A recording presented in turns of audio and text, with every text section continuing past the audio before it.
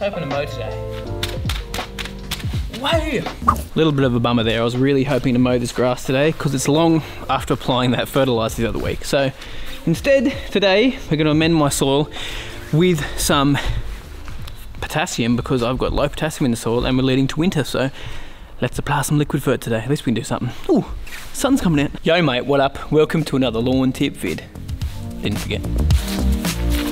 So for today's video, I was planning to mow the lawn, but we got, I think it was 20 or 30 mil of rain, which this time of year when you get that, and there's no heat around, sits on the lawn for ages, so yes, it's a bit of an issue. Oh, there's even some water coming out of this trampoline. So, there's always something to do on the lawn though. Always something.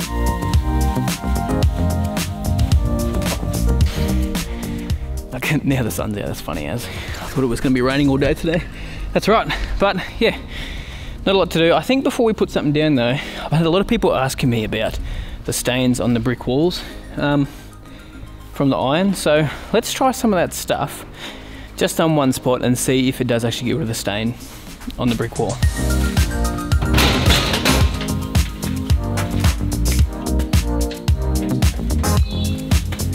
I don't know where I've left it.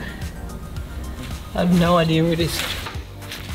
Uh, was in the garage, so let's get a paintbrush and let's just paint it. I think the worst spot's out the front, in front of the um, bedroom window out the front. So let's paint it there and see if it makes a difference. If you guys remember, I used this in a video a little while back on the Colorbond fences and it made a huge difference. Like it really worked really, really well. So it's good stuff. Um, but let's try it on the bricks, see if it works. It might not, it might, we'll see.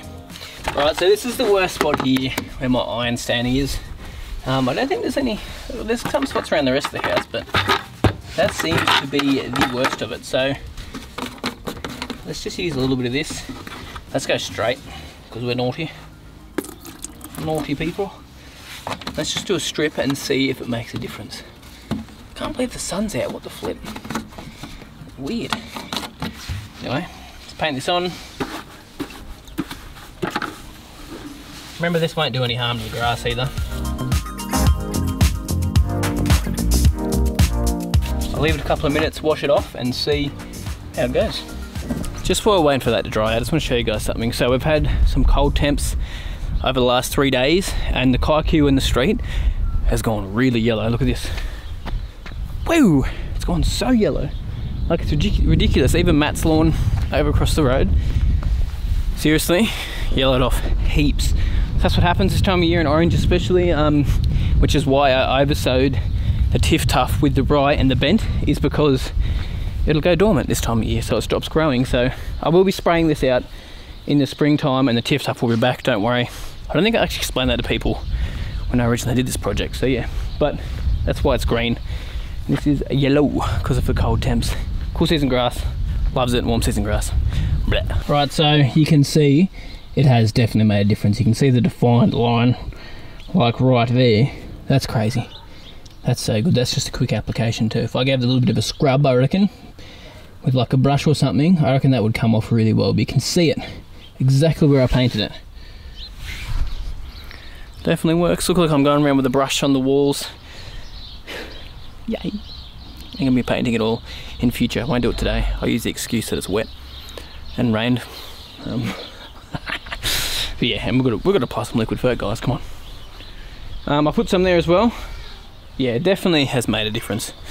Mm, It's good stuff. Really good stuff. So anyway, I might show you guys at the end of the video if it looks any different. If it does, if it doesn't, you know it hasn't changed. But, well, yeah, it worked. So there you go. All right, well, let's go get that Phosfighter out of the shed and let's apply it today. I'll talk to you guys a little bit about why I'm using it and what's in it as well and why I'm going to be using it over winter as part of my liquid fert program in winter time. Seem to have lost all my measuring jugs. I've only got this little one. Bang the bum bum. Anyway, all good. So today we're applying some kelp and some Fertech Phosfighter. So the reason I'm using Phosfighter today is because I've got a deficiency of potassium in my lawn, which is not great. And usually I can tell when the potassium's starting to get a bit low because the lawn starts to get a little bit yellow and the leaf looks a little bit sick. Now it's okay at the moment. It's not too bad because I put that inoculate complete out recently, but I'm still gonna amend it with some liquid over the next little while. Um, just because liquid's gonna get down there quicker and work a little bit better as well. So over winter this year, I'm gonna be applying that Phosfighter probably, I'll probably say almost once a month with some kelp, probably some humic acid as well. Just kelp today, because um, I put humic acid on not too long ago. Don't want to overdo it, not that you really can, but just don't want it rot. but yeah, put the Phosfighter out. So what's in this product is a couple of different things. So this is it here. So it's mostly got some phosphorus and some potassium as well, Phosfighter. Obviously, you know, Phosfighter, it's got phosphorus in it. Um, but yeah, it's got some amino acids. I've done some videos before talking about amino acids. Do some research if you want to know how that works. Um, we won't go too in depth today, but amino acids are awesome. Acids are awesome for your turf. Biggest thing I want though is the potassium, and phosphorus isn't too bad in my soil. It's sort of on the average sort of a level, so we're not too worried about that. But it's going to be fine. But this is great for establishing turf. So if you've got new seed, great to put on new seed. So I'm to put it on the seed today because that Fertech Special Effects I put on the other day had no P or K in it, just the N. So I'm to put this down as well. And yeah, it's really going to help with their plant vigor and our root growth. So establishment. So we've got the rates on the back of here. Um, so it says 100 to 200 mil per 100 square meters. So we're going to go to the higher end of the rate today. Um, with the seed, you can even go a little bit higher. You can go 250 mil per 100 square meters. You can sort of choose what you want, but it's fine if you get some rain after this because you can actually put it down as a soil drench. Such a risky boy doing it on the lawn. Oh, yes. Love the smell. Uh, you always searching for a better thing. Wanna replace me? I'm in a place that I've never been. It's worse than lonely. Cause someone tell me they see good in me. There's good in me. Cause I got doubts, I got doubts, I got doubts, yeah. Sometimes I wanna risk it all since you left me. Struggle, baby,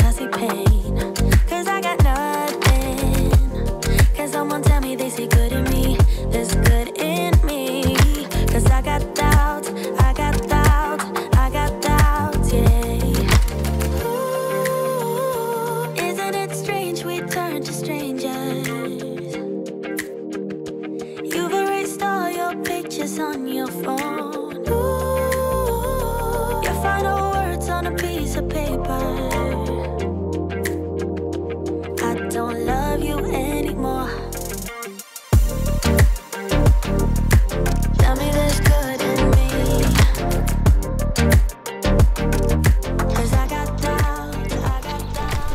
Now that that's done, I'm glad.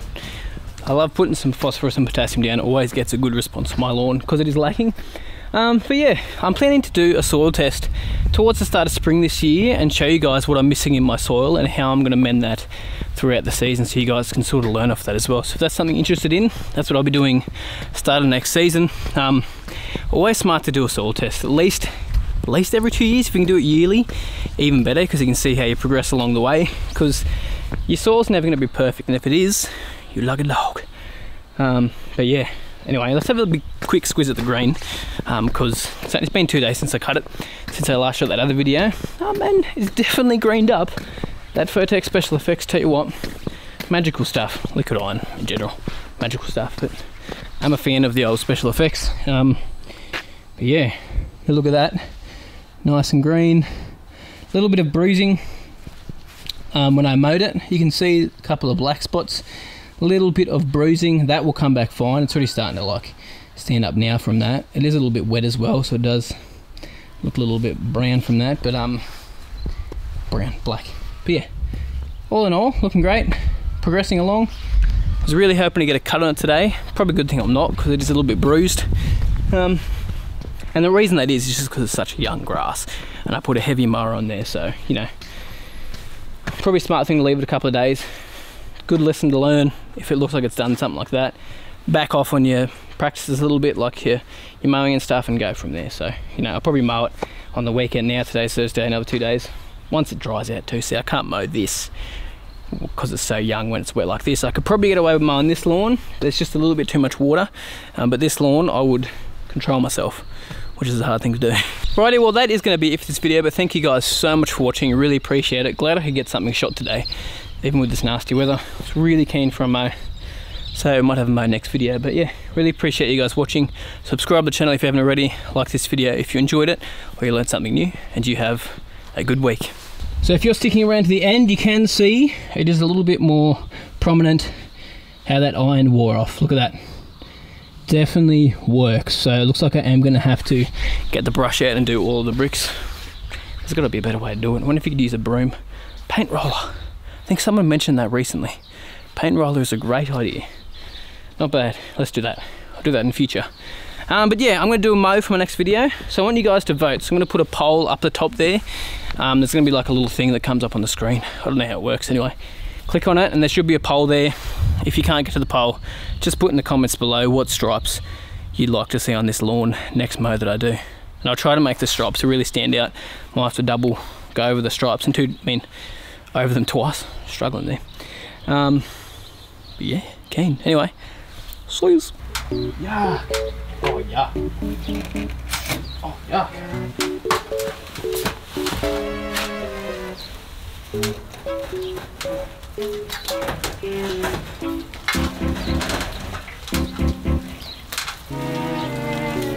Some Poa annua.